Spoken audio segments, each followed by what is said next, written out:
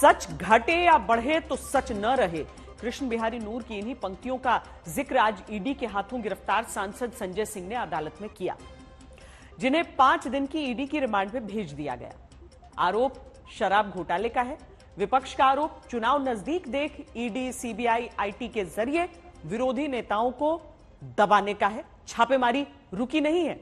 आज भी ईडी और आयकर विभाग ने कई राज्यों में छापे मारे हैं। तब सवाल पूछा जा रहा है कि क्या जैसे जैसे चुनाव नज़दीक आएँगे, भ्रष्टाचार के आरोपों की जाँच करती एजेंसियों की कार्रवाई पर सवाल उठाती सियासत भी बढ़ेगी? क्या जाँच और सियासी आँच में आगे और लड़ाई है? यूपीए राज के मुकाबले एनडीए राज के आठ साल में ईडी की 27 गुना ज़्यादा छापेमारी यूपीए राज के मुकाबले एनडीए राज में नेताओं के खिलाफ चार गुना ज़्यादा ईडी के मामले। यूपीए राज में दो पूर्व मुख्यमंत्री जाँच के घेरे में आए। एनडीए राज में ईडी की जाँच के रडार में एक मुख्यमंत्री, चौदह पूर्व मुख्यमंत्री आते हैं। यूपीए राज में तीन मंत्रियों की जाँच ईडी करती है। एनडीए राज में 19 मंत्री को जाँच के दायरे में ईडी लाती है। यूपीए राज में तीन सांसद तो एनडीए राज में 24 सांसद। यूपीए राज में एक भी विधायक, पूर्व विधायक और पूर्व सांसद ईडी की जाँच के दायरे में नहीं आया, लेकिन एनडीए राज्य में ईडी की जाँच का घेरा 21 विधायक 11 पूर्व विधायक और सात पूर्व सांसद तक कस जाता है। सड़सठ साल पहले आर्थिक अपराध रोकने के लिए बनी जाँच एजेंसी ईडी, यानी प्रवर्तन निदेशालय, जो छापेमारी में घोटालेबाजों का पैसा पकड़ती है तो उन्हीं नोटों से ईडी लिखकर करप्शन के खिलाफ अपने एक्शन की दस्तक देश को दे देती है उसके छापे का एक कंकड़ भ्रष्टाचार के आरोप वाले तालाब में गिरते ही राजनीतिक बयानबाजियों की लहरें बहुत तेज उफान मारने लगती हैं। आरोप लगने लगता है कि ईडी सिर्फ़ विपक्ष के नेताओं को ही टारगेट कर रही है जैसे अभी गिरफ्तारी के बाद अदालत में पेश होने जाते वक्त संजय सिंह अपनी गिरफ्तारी को चुनाव से पहले बीजेपी का हार के डर वाली हताशा बताते हैं। संजय जी कुछ कहेंगे अपने रेस्टोरेंट संजय जी कुछ कहेंगे? न्याय है मोदी जी का हारेंगे मोदी जी मोदी जी चुनाव हार रहे इसलिए संजय जी। शराब घोटाले के आरोप में सिसोदिया के जेल जाने के बाद अपने नंबर दो संजय सिंह की गिरफ्तारी के बाद उनके घर केजरीवाल पहुँचे। बाहर आए तो पूछने लगे चवन्नी मिली नहीं गिरफ्तारी पर गिरफ्तारी हो रही है। शराब घोटाला शराब घोटाला शराब घोटाला। इस शराब घोटाले के ऊपर इन्होंने हज़ार से ज़्यादा, एक हज़ार से ज़्यादा रेड मार चुके हैं। पता नहीं कितने लोगों को गिरफ़्तार कर चुके कहते हैं सौ करोड़ रुपए का शराब घोटाला है, लेकिन इनको इतनी रेड मारने के बाद भी चवन्नी भी नहीं मिली इन लोगों को। शराब घोटाले में ही गिरफ़्तार हुए मनीष सिसोदिया 221 दिन से जेल में हैं। इनकी जमानत याचिका पर अब 12 अक्टूबर को सुनवाई है। इसी घोटाले के आरोप में पकड़े गए संजय सिंह को भी दिल्ली की अदालत ने 10 अक्टूबर तक ईडी की रिमांड में भेजा। सिसोदिया और संजय दोनों के केस में सुनवाई के दौरान अदालतों की दो टिप्पणी अहम रही। सिसोदिया की जमानत पर सुनवाई करते सुप्रीम कोर्ट में जस्टिस संजीव खन्ना और justice S V A Bhatti की बेंच ने कहा, आपकी दलील तो एक अनुमान है, जबकि ये सब कुछ सबूतों पर आधारित होना चाहिए, वरना अदालत में जिरह होने पर यह केस दो मिनट में गिर जाएगा। संजय सिंह को ईडी रिमांड में भेजने से पहले अदालत ने ईडी से पूछा, जब संजय सिंह के खिलाफ पुख्ता सबूत थे, फिर गिरफ्तारी में इतना वक्त क्यों लगा? आप पैसों के जिस लेन देन की बात कर रहे हैं, वो काफ़ी पुराना है, फिर गिरफ्तारी में इतनी देरी क्यों? ईडी ने जवाब में कहा कि आरोपी से सरकारी गवाह बने, दिनेश अरोड़ा ने बताया है, उसने दो करोड़ रुपए संजय सिंह के घर दिया था, बुधवार की रेड में कुछ डिजिटल सबूत मिले, उन सब का सामना संजय सिंह से कराना है, इसीलिए रिमांड चाहिए। आगे की जानकारी कोर्ट रूम में मौजूद रहे आज तक संवाददाता संजय शर्मा और शराब घोटाले में ईडी के हर एक्शन को शुरुआत से आपके लिए कवर करते आ रहे संवाददाता मुनीश पांडे से सुनिए। संजय सिंह की तरफ़ से ये कहा गया कि ये फ़िलहाल ये सारी चीज़ें बिल्कुल नाटक हैं, ये जाँच के नाम पर चीज़ें समय खराब किया जा रहा है, क्योंकि अगर दिनेश अरोड़ा तो इनके पास एक साल करीब से है। तो अचानक क्या हुआ कि दिनेश अरोड़ा की याददाश्त एकदम से अचानक जगी? आठ महीने वो बिल्कुल खामोश रहा और इधर उधर की बातें बताता रहा, लेकिन जब बात आई तो उन्होंने अभी ही क्यों दिनेश अरोड़ा ने संजय सिंह का नाम लिया है?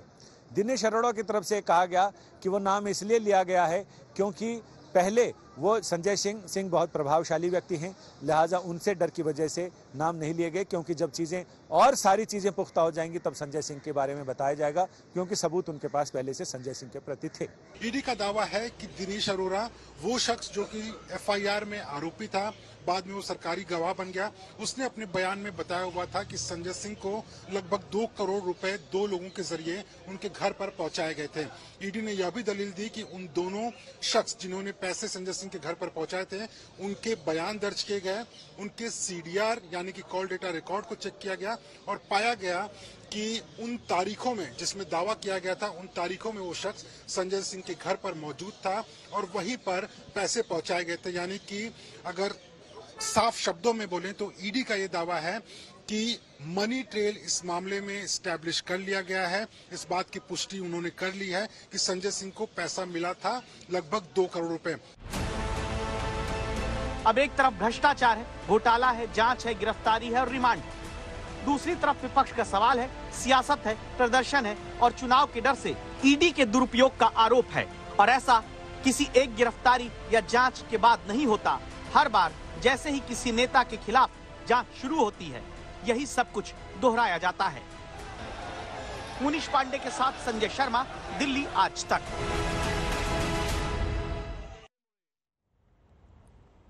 संजय सिंह के मामले के बाद जो कुछ अभिनेता कह रहे हैं, वो पहली बार नहीं है। ऐसा हर गिरफ्तारी हर पूछताछ हर जाँच के बाद सामने आता है। सबसे ज़्यादा विपक्ष के निशाने पर जाँच एजेंसी ईडी रहती है। इस पूरे मामले में दोनों पक्षों को एक साथ करके देखें। तो विपक्ष के नेता आरोप लगाते हैं कि ईडी सरकार के इशारे पर सिर्फ़ नेताओं को टारगेट करती है। ईडी की तरफ़ से कुछ दिनों पहले ही बताया गया कि 2005 से जनवरी 2023 तक ईडी ने मनी लॉन्ड्रिंग एक्ट में 5,906 केस दर्ज किए हैं। तो इसमें केवल 2.98 प्रतिशत केस ही पूर्व सांसद विधायक और दूसरे नेताओं पर है। विपक्ष आरोप लगाता है कि ईडी की छापेमारी से विपक्ष के नेताओं को डराने की कोशिश की जाती है। ईडी की तरफ़ से अपने पक्ष में यह कहा जा चुका है कि कुल केस की 9 प्रतिशत मामलों में ही ईडी ने छापा मारा है, जिनमें से 3 प्रतिशत से कम केस में छापेमारी नेताओं के ठिकानों पर हुई है। विपक्ष आरोप लगाता है कि ईडी की जाँच के बाद कन्विक्शन रेट यानी दोष सिद्धि की दर बहुत कम है। इसके जवाब में ईडी की तरफ़ से दावा होता है कि ट्रायल पूरा होने के बाद ही कन्विक्शन हो सकता है। ऐसे में 25 मामलों में ही ईडी की जाँच के बाद ट्रायल पूरा हुआ और 24 मामले में दोष सिद्धि हुई है। इसीलिए ईडी का कन्विक्शन रेट चौरानवे प्रतिशत है। ऐसे ही आरोप प्रत्यारोप के बीच हर छापे को विपक्ष के नेता सियासत का छापामार युद्ध बताते हैं। दावा करते हैं कि डराने की कोशिश भले जाँच के नाम पर हो, लेकिन डरेंगे नहीं। तब सवाल उठता है कि क्या संजय सिंह के बाद आगे और गिरफ्तारियाँ और छापेमारी हो सकती है? जिस तरह के सवाल सुप्रीम कोर्ट आज पूछ रहा था फीलिंग आ रही थी कि गलत ही केस बना रखा है इन लोगों ने हमारे ऊपर। केजरीवाल गलत केस बताते हैं समर्थक प्रदर्शन करते हैं। दिल्ली मुंबई पुणे चंडीगढ़ लखनऊ भोपाल तक अखिल भारतीय सियासत ईडी के एक्शन के खिलाफ होती है।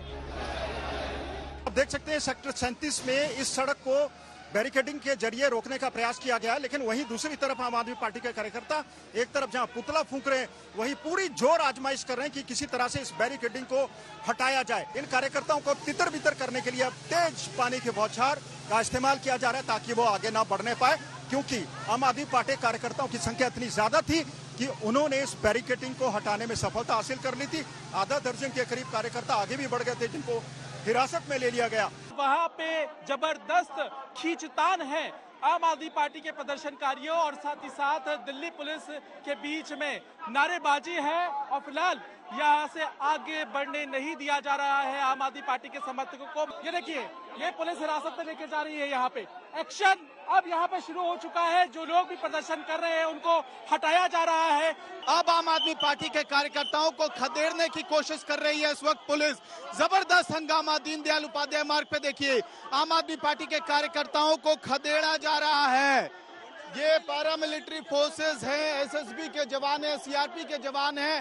झड़प साफ़ रूप से आपको आज तक के कैमरे पे दिखाई देगा, जहाँ पे स्पष्ट रूप से धक्का मुक्की दिल्ली पुलिस एसएसबी के जवान और सीआरपी के जवानों के बीच दिख रहा है। जिस वक्त आम आदमी पार्टी प्रदर्शन करके विरोध जताती है, तब तक देश में नए छापे जाँच एजेंसियों की तरफ़ से शुरू हो जाते हैं। ईडी ने पश्चिम बंगाल सरकार में खाद्य और आपूर्ति मंत्री रथिन घोष और पूर्व नगर पालिका अध्यक्ष के ठिकानों पर छापेमारी की। ये छापेमारी नगर पालिका में भर्तियों में गड़बड़ी को लेकर होती है। फ़िलहाल एक मंत्री बंगाल के जो है, बहुत ही अहम मंत्री है और ममता बनर्जी के कैबिनेट में वो बहुत ही अहम भूमिका निभाते हैं उनके घर पर फ़िलहाल। ईडी के जो ये छापेमारी वो फ़िलहाल चल रहे हैं। इसके अलावा अन्य बारह ठिकाने हैं जहाँ पर भी इसी सिलसिले में, यानी म्यूनिसिपल रिक्रूटमेंट स्कैम को लेकर भी फ़िलहाल छापेमारी चल रही है। तमिलनाडु में डीएम के सांसद एस जगत रक्षकन के परिसरों पर आयकर विभाग तलाशी लेता है। 40 से ज़्यादा जगहों पर छापेमारी हुई। तेलंगाना में आयकर विभाग ने बीआरएस विधायक मगंती गोपीनाथ से जुड़े ठिकानों पर छापेमारी की। गुरुवार शाम तक खबर आ गई कि उत्तर प्रदेश के लखनऊ, वाराणसी और आजमगढ़ से लेकर मुंबई तक समाजवादी पार्टी के नेता अबू आजमी के ठिकानों पर छापे पड़ने लगे। सवाल पूछा जाने लगा, छापों की रडार में और कौन कौन आगे है? सिर्फ़ हाल के कुछ घोटालों के आरोप पर नज़र डालें तो क्या स्कूल भर्ती घोटाले के आरोप में आगे? ममता बनर्जी के भतीजे अभिषेक बनर्जी भी गिरफ़्तार किए जा सकते हैं। क्या रेलवे भर्ती के बदले ज़मीन घोटाले के आरोप में आगे तेजस्वी यादव की भी गिरफ्तारी हो सकती है? क्या शराब घोटाले के आरोप में ही अरविंद केजरीवाल तक भी गिरफ्तारी की आँच पहुँच सकती है? अरविंद केजरीवाल से शराब घोटाले के आरोप में ही अप्रैल महीने में सीबीआई पूछताछ कर चुकी है। केजरीवाल से पूछताछ की, जो वजह सामने आई थी उस पर गौर करिए। जाँच एजेंसी का आरोप रहा कि शराब के बड़े कारोबारी और शराब घोटाले के आरोपी समीर महेंद्रू के बयान केजरीवाल को पूछताछ के लिए बुलाने की सबसे बड़ी वजह बने थे। एजेंसी के मुताबिक समीर महेंद्रू ने बताया था कि केजरीवाल के साथ आम आदमी पार्टी के कम्युनिकेशन हेड विजय नायर ने एक मीटिंग फिक्स करवाई थी।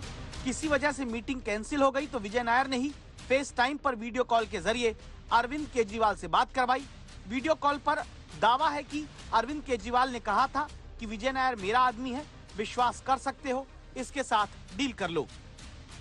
अब संजय सिंह गिरफ़्तार हो चुके हैं, केजरीवाल का इस्तीफा बीजेपी मांग रही है और केजरीवाल संजय सिंह की गिरफ्तारी को गैर कानूनी बताते हैं। पहले संजय सिंह को संसद से सस्पेंड करवाया और अब उन्होंने आज उनको एक झूठे, पूरे, पूरी तरह से झूठे सवेरे से शाम तक बाबूजी बता रहे हैं कि सवेरे से शाम तक सारे घर का छान मारा इन्होंने, सारे तकिए, गद्दे, सारे सब छान मारा, कुछ नहीं मिला इन लोगों को। आज उस टीम के एक तीसरे स्तंभ भी गिरफ़्तार हुए हैं, जिनका नाम है संजय सिंह। और ये आँच जो है ना, जो सत्येंद्र जैन से चली मनीष सिसोदिया तक आई और आज संजय सिंह पर आई मेरा मन कहता है कि ये आँच बहुत जल्दी अरविंद केजरीवाल के गिरेबान तक जाने वाली है।